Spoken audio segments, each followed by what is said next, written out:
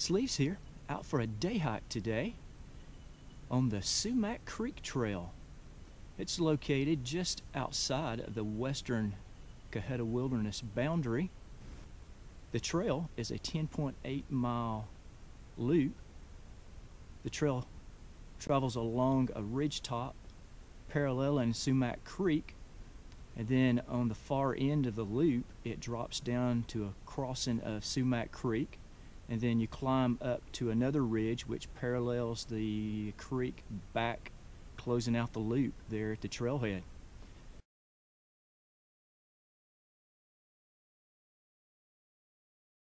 We should have the trail to ourselves today.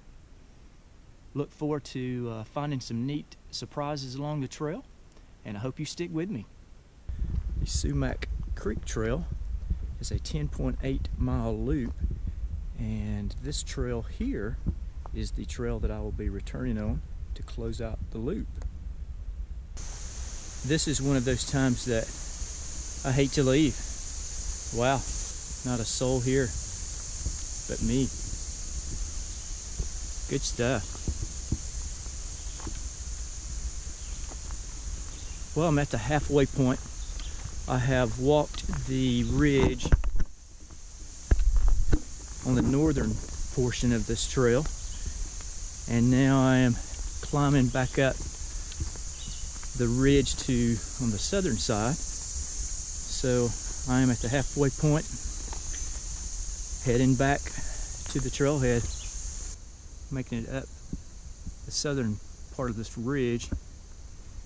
And I have discovered that there is much more fire and storm damage on this side of the trail.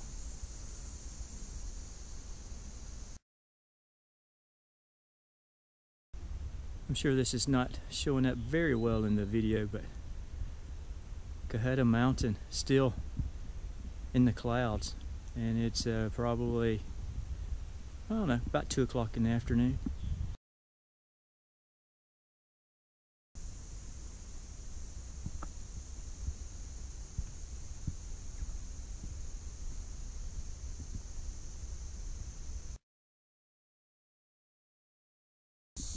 the storm cleared this area out.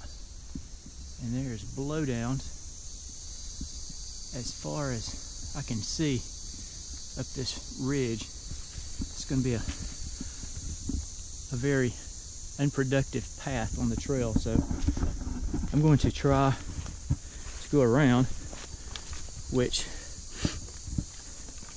this is a very steep descent and then a steep climb back out, but hopefully I will get around the blowdowns. So we'll see.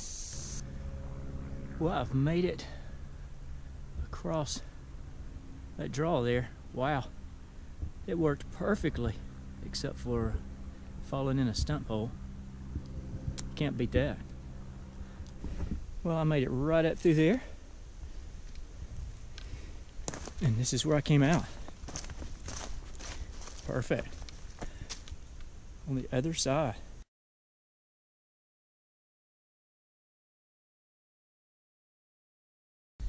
Neat spot here.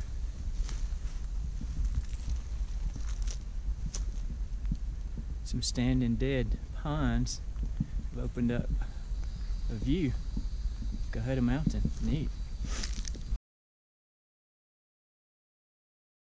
At about 8.1 miles, you'll come to this barricade here on the trail.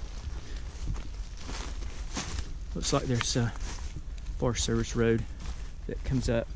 I'm not exactly sure of the number. I'll have to look that one up. The trail goes to the left here past this gate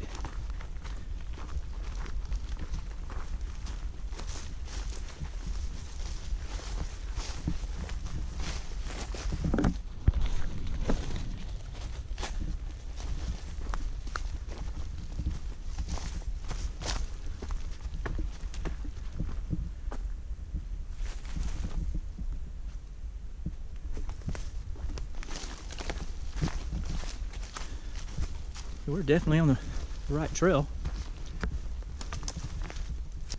I will caution anyone that is allergic to poison oak that this is probably not your trail during the summer.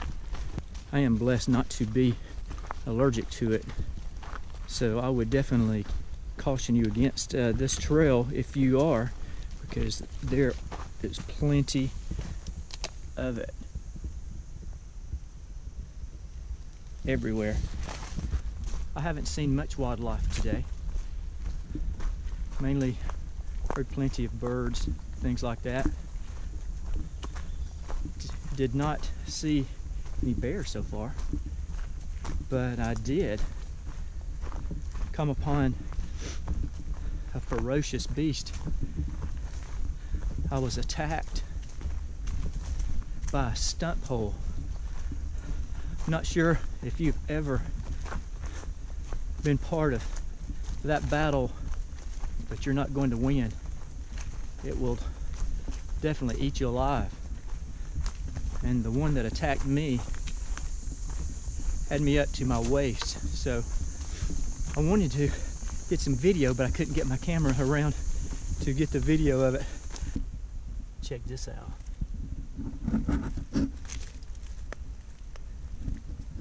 Someone's home and their life savings came crashing down.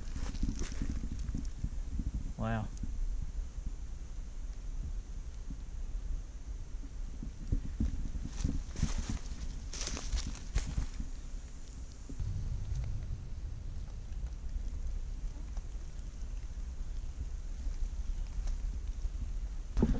Had to laugh at myself.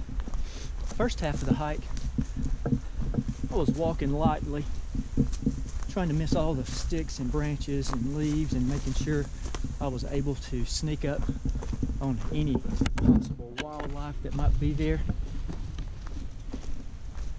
Second part of my hike, I'm probably somewhere around getting around 10 miles or so, but I sound like a bull moose charging through the undergrowth.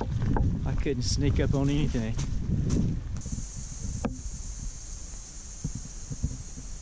I am approaching Sumac Creek for the second crossing of my loop. Again, the forest has changed down here in the valley next to the creek.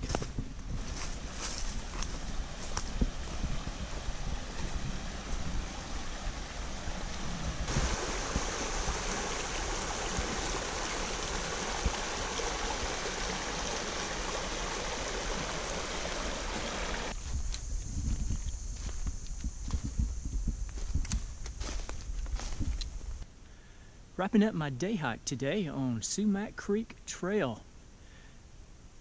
It's a 10.8 mile loop crossing Sumac Creek twice as it loops around the wilderness and it is a definitely a trail that uh, you can find peace and solitude on.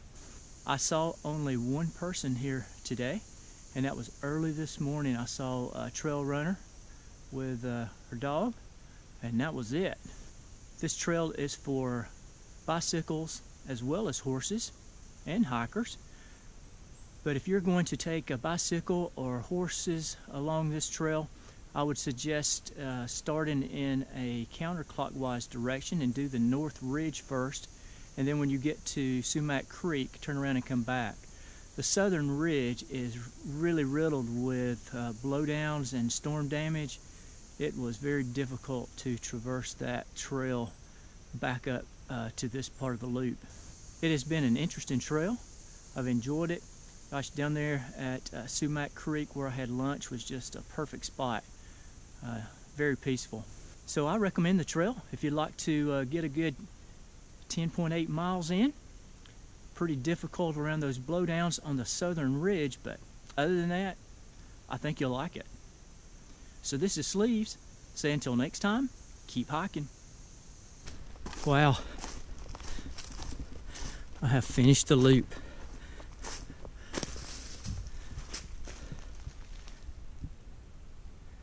I just checked my mileage and I put in about 12 miles instead of 10.8, so a lot of detours. Glad to be back.